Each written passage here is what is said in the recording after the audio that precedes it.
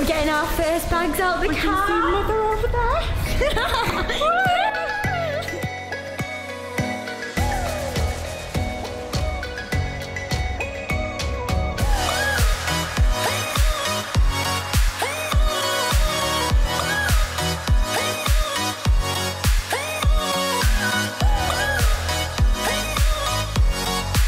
Tell you what, I see food and I like food.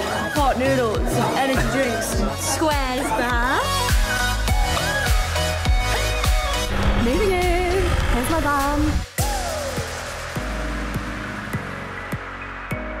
that it?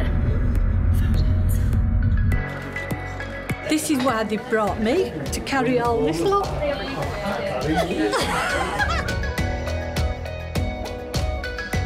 Big time, we're going big time.